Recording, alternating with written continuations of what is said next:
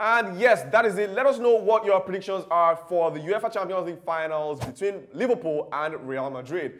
There will be a 5,000 naira giveaway for whomever predicts the scores correctly. You have to predict the exact scores at the end of the game. Always noted I was the first person that said 3-2, so...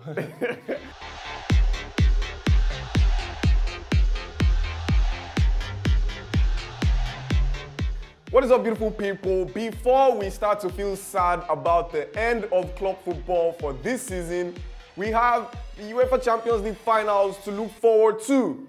sir. Liverpool and Real Madrid Yes, are sir. battling it out on Saturday, the 28th of May. Fam, it is going to be explosive. Yeah, huge game in the Champions League. Liverpool versus Real Madrid. Six-time winners versus what? 13-time winners and two of the most successful clubs in competition.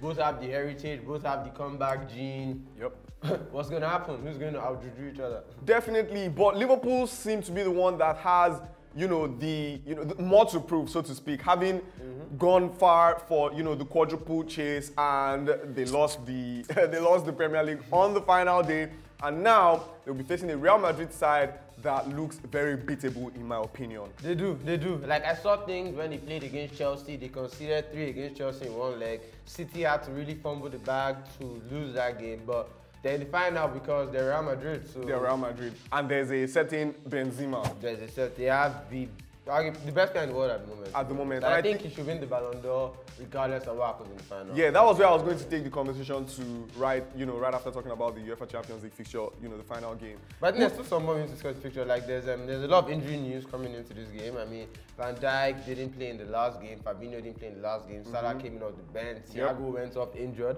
So a lot of the reasons why I thought Liverpool would be favourites are looking a little wonky now because that midfield battle, Real Madrid's midfield is. I think that's where they're strong. Yeah, yeah, yeah. And it looks like, but but I know that Real, uh, Real Madrid will have a lot on their hands with Liverpool's uh, strike, you know, striking partnership. And we have the better regardless defense. of what happens. So Seem to have the the better defense. midfield is But without Van Dijk, No, he will play. He, still will play. he said he will play. He said he will be fit, and he was on the bench in the last league game, so he should be fit to play. yeah. So any anything can happen. Let's see what happens in the next couple of hours. Let's see whether there's Mm-hmm. any you know updates on that front. But it promises to be interesting still. The midfield battle looks like it will be won by Real Madrid with the likes of Thiago, you And know, not, and Fabinho not you know miss, uh, not not playing in this one. But let us still see. We don't know what can happen still in the next On the couple Real of Madrid hours. front, um, Alaba, who was injured, came back into the side. Apparently, might be injured again. So they might, in a defense that I already felt Liverpool could get at. Mm. Now they're losing probably the best player in that back four. So yeah, that could be something to look out for as well. But of course, Mane, Luis Diaz, and Salah we expect to play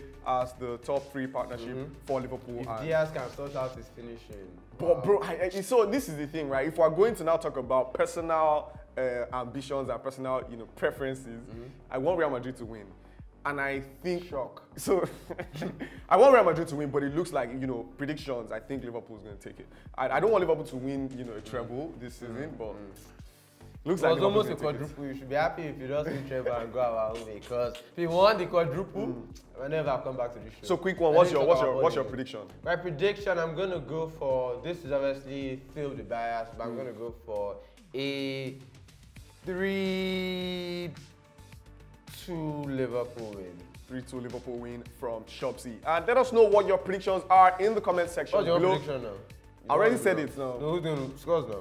Okay, scores. Uh, I think it will actually go into extra time. Funny how, but it will be a big Mm. All scoring our finals game. have gone to Exactly, gone into Sudden 120 death in the 120. so- Exactly. So I expect that to go into the extra into extra time, and it will be a big scoring game. Mm. Three all, and then be decided either in extra time or in penalties. Van Dijk concedes three goals. I'm going to flog him. I just Yo. allowed in those two Yo, because Benzema I mean it's. Benzema. Yeah, that's why you, You can know. have these two goals. And- And Vini can link and up certain. Vinicius who's actually- link who's up for two firing. goals, But Van Dijk leaked three goals. And don't forget final. Ancelotti's um, subs, subs, uh, you know, magic. 70 minutes into the game. Mm-hmm. Yeah, I think it's brings important on. for Liverpool to make sure the game doesn't get nervy. So, Hmm. but and that's why I felt like if we had Thiago, we could have controlled the game and just been the better team on night and won the game. But now that we lose that control in midfield, it's, it's integral that we don't let this game get to like the 80th minute and Madrid still have a chance because that's when all these magical things start happening. So yeah, we need to get the early goal. And Yeah, yeah, but of course, do not we, we can't we cannot say for sure whether Thiago will not play in that game just yet. Anything can happen. I mean, it's still a mm. couple of hours to the game tomorrow. and yes, that is it. Let us know what your predictions are for the UEFA Champions League finals between Liverpool and Real Madrid. There will be a 5,000 naira giveaway for whomever predicts the scores correctly. You have to predict the exact scores at the end of the game. I always game. noted I was the first person that said 3 2. So. and I said 3 3 because Ah. my heart is still is you in guys it. already If have I, my details. if I, if I take the 5K, you know, all, all's fair, all's fair, all's fair. So, yes, let us know what you think in the comment sections below. Moving on from the Champions League um, finals, we have a couple of interesting names that are out of contract already at the end of the 2021 2022 season. The likes of Dybala, the likes of Paul Pogba, who's been linked with PSG and co. Jesse Lingard also of Manchester United. Uh, we're hearing West Ham um, are trying to, you know, you know, to get him. Giorgio Chiellini, legend of the game, he probably is going to retire. Yeah, or maybe or maybe go to MLS. And we also have Insigne. Insigne is also confirmed to go to the MLS. And Lewandowski, that's the most interesting one for me. Lewandowski is a huge one. Um, I'm really curious uh, where he's going to go. We're hearing Barcelona. Yeah, ba- Barca are the most heavily linked, but it just doesn't look feel like the right fit for me. I feel like maybe he's he might be using it to get a bigger payday from Bayern. From. Bayern Munich. Barca have Aubameyang, maybe they'll move Aubameyang out. They have Aubameyang, they have Braithwaite, old, they have so I mean, it's interesting to see, and I wonder if Barcelona, like, I thought Barcelona had overcome this uh, bad habits of just signing players that yeah, because the name looks good, Coutinho, Mm, Vidal, and Memphis Depay, blah blah blah, just throwing money at them. They're building a young project, so it's an off signing. I think Lewandowski might be playing it. But but you know Lewandowski actually steps into any team in the world at the moment. Yeah, he does. He does for sure. But that's the thing with Barcelona. They've signed top players in the past that you think was like when Coutinho left Barcelona, it was 120 million. Like, Let's put our brains there. We thought he could play for any team in the world. So yeah, it doesn't always work out like that, and yeah, we'll see how it goes. And like, he doesn't have anything to prove again. He's Uh, what, yeah, 33 yeah, years old. yeah, like, is that really? Barcelona looking to the future, should he be signing a 33-year-old striker?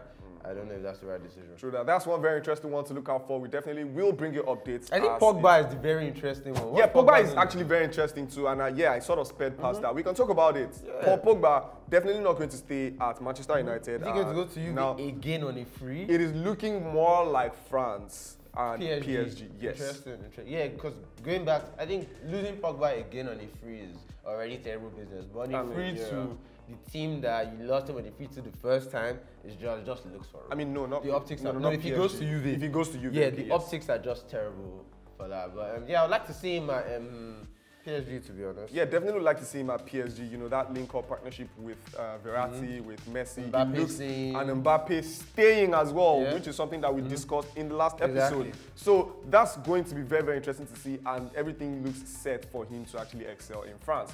Coupled with the fact that that he's going to be playing in the Farmers League, Yeah. in a Farmers League, one of the Farmers Leagues, and yeah, it looks like a, a very good move for him if he does do that. Moving on from Paul Pogba, we also have Angel Di Maria, who's done it all. contract, Seen it all. Done it all. seen it all, done it all. He's won for his country. He's won the Champions League. He's won league titles in multiple places. Like, You know, one next time. I think he's, he gives me MLS vibes as well. As well, right? He doesn't like stress. United caused him stress. He went to Paris. Like now, he's able to go to Paris, turn it around, got his career mm. back on track. One big trophies. Like, yeah. Respect but of course, age is no longer on his side. He's Yeah. probably just going to go to a, a league where he's just Yeah, going and have you know, his just fun, chill out and, and, and just yeah, and just enjoy. fun with the sun. Another big name on this list that we have here is Isco of Real Madrid. Hmm. He had a you know he cried at the end of This that. was you know. a player I thought was going right to the very top, but it just never really worked out. He, He never, never was able to cement a place in that Madrid team, and I guess that's just um, and that happened to him with the Spanish team as well, coming up around the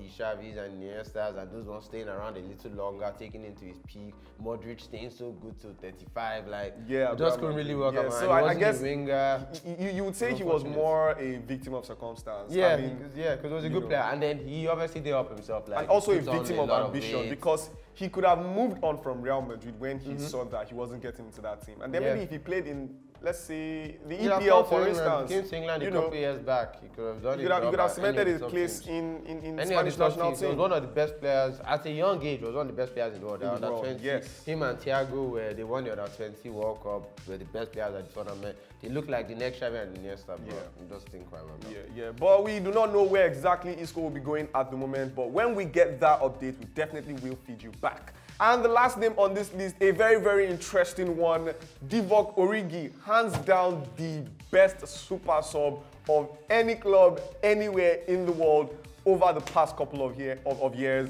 Um, he had a very, very interesting uh, career at Liverpool. Yeah, Divock Origi has a he has a very dear place in my heart as a Liverpool fan. Obviously, the moments are countless: derbies, late Premier League goals, Champions League semi-final goals, Champions League final goals, goals when they mattered most, and when we thought, yeah, now we're just throwing the kitchen sink at this team. Right. It always happens to be Origi. Origi, yeah. the knack Origi was the that- kitchen sink. Yeah, ex- Origi is the kitchen sink. The knack to do that time and time again, and just to keep his mentality up, keep his spirits up, because he knew he was never going to start ahead of Firmino, Salah, Mane, Luis Mm. Diaz came in, Jota came they went above him, but he just stayed motivated. He never unsettled. never the side. unsettled the side, and that's why he got the um, send off that he got. Yo, massive, massive send off. Massive send off. You know, everybody came, everybody God just happy for the guy. And he's moving on. He's moving on to a very, very good team. And I definitely wish him the best of luck. Yeah, current Serie A champions, and yes, great team gets games often. See how many can yes, get yes. playing 38 games in a season. I mean, of course, I mean, the likes of Ibrahimovic are, you know, at Yeah, the end of their yeah. career in AC Milan, even Giroud. And look with the numbers Tammy Abraham is doing in that league, like, yeah, I can, I can eat them. Yeah, definitely, definitely. And that's a very good place to put a pin on it. And it was a very, very interesting episode. Thank you guys for joining us. Do not forget, we have a 5,000 Naira giveaway for you if you predict the score of the Liverpool and Real Madrid Champions League finals correctly. Drop your comments in the comment sections below, anywhere you're watching this live on, on, on YouTube, on Instagram, anywhere. We will catch you guys in the next one. Peace. Ciao.